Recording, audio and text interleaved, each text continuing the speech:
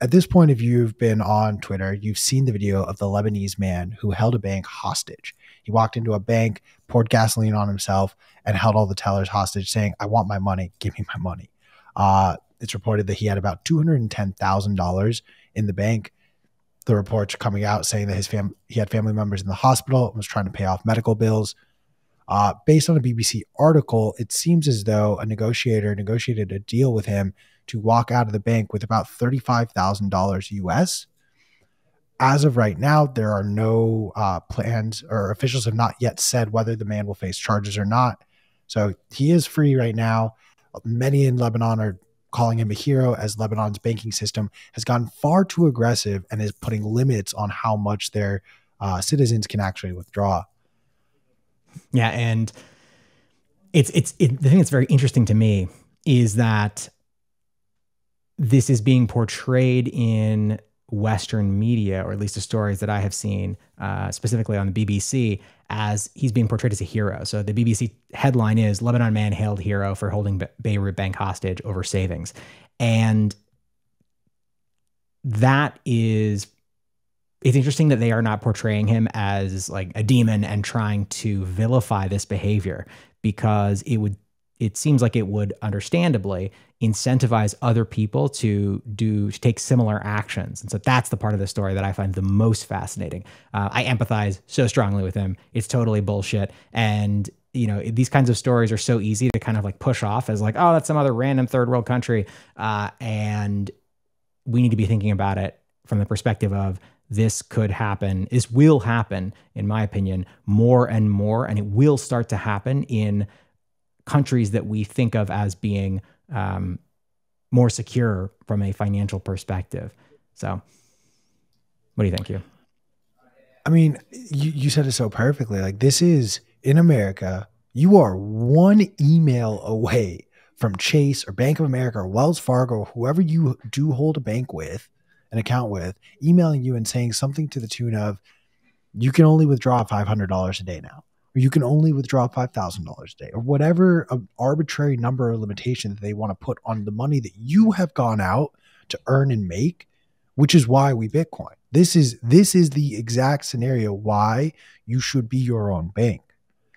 I think the very interesting thing here is the fact that the ground swelling support that this man has received, and I think Lebanese officials are looking at this situation and saying to themselves, if we lock this guy up, there could be an uprising of hundreds more of people exactly like him doing this. Not just if we let him go, people thinking, oh, well, if I do it, I'll get away with it.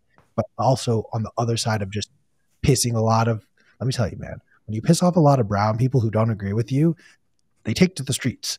They take to the fucking streets. All right. So that is, that is well within the realm of possibility here. I'm going to keep a very close eye to see how Lebanon really responds to this what could be inspiring and truly like the 1% of 1% chance, like smallest odds here is the Lebanese officials hear this man's complaint and then say to the banks, enough with this, like increase the limits. Like that's not going to happen, but that would be the best case scenario out of this.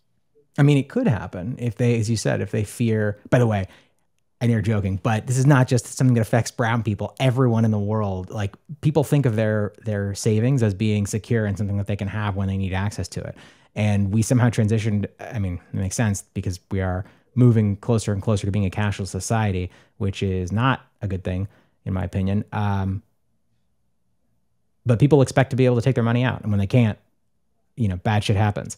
And so I think the only way that they would tell the banks to increase their limits is if, again, as you said, they were afraid of the negative repercussions of not doing so, which they very well may be.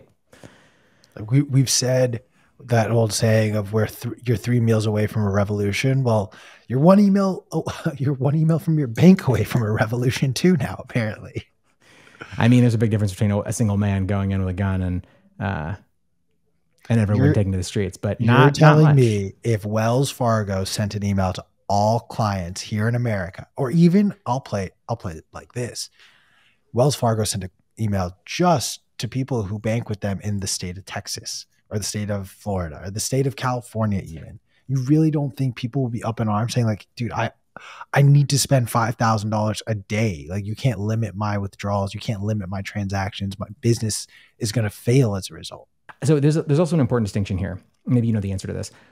Did the bank say to him, "You cannot withdraw this money money in any form," or was it, "You cannot have it as cash"? I'm assuming there, it was in any form. There was a, a limit to how much he could withdraw. That was the jurisdictional law in place in Lebanon. They've essentially limited how much you can withdraw from a bank account.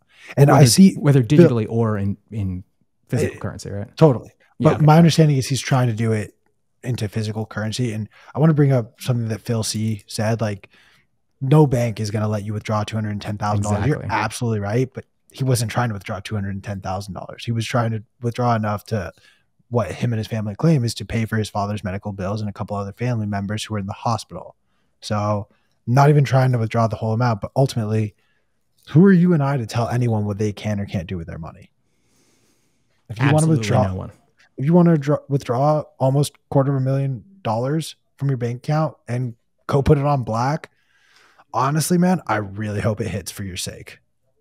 Yeah, I mean, again, as you're just saying, you can't do that today in this country. You go to you, now, supposedly you can if you like go in and you give them enough notice because they don't, you know, keep that much cash and all that stuff. But, um, I mean, in the U.S. right now, if you go into a bank, uh, you know, pants on or off, doesn't matter, uh, and demand to take out, you know, 25K, they're going to be like, well, what are you doing with this? And if you try to say, like, well, look, it's my money, I do what I want, uh, you're going to have some uncomfortable questions. And it's, uh, it's insane that they are able to do that. So,